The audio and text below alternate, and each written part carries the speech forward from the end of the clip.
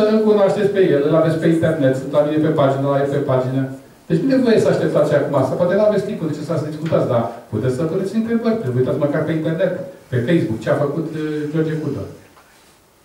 Și asta mi se pare extrem de util că ne putem ajuta reciproc din fiecare o bază de date pe o direcție.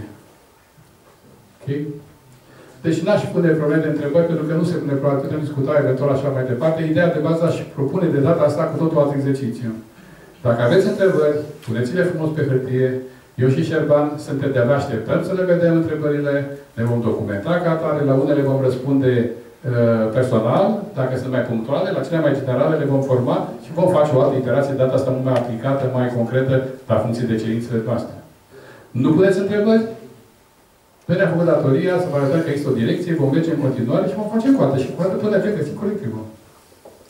Deci dacă aveți întrebări în domeniu, aveți foaia de hârtie, aveți internetul, aveți forme diferite, le puteți lăsa data viitoare la cafenea dacă nu folosiți IT-ul. Dacă folosiți Facebook-ul, puteți trimiteți direct în mesaj în, în, separat, nu obligatoriu pe uh, wall.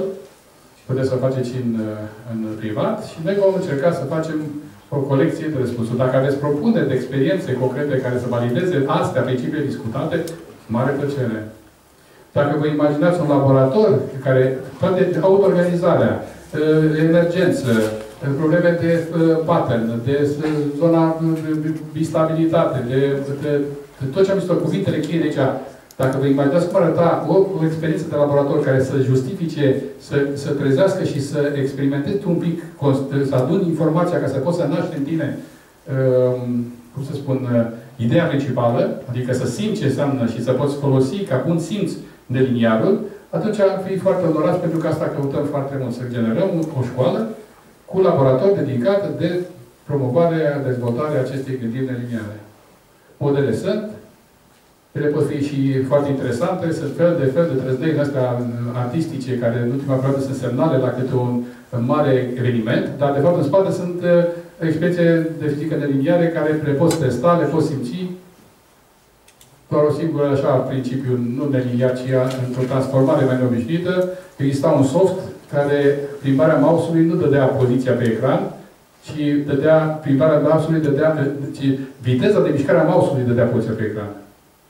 Deci trebuia să faci niște mișcări cu viteze controlate, că viteza era poziție. Și transformata asta e, e banală. Și jocul era de asemenea manieră, toți cei care erau mari tari la joc și făceau, cum să spun, performanță la curse și la fel de jocuri de astea cu 7000 de pușcături, n-au putut, nici eu n-au putut să miște în noua cheie. Și am luat de pe stradă niște copii care n-au văzut recalculatorul și au pagat instantaneu pe ne-au zis că e deci, e o deschidere inclusiv financiară, pentru că vă spun că are o valoare financiară mare pe piață o asemenea lucrare.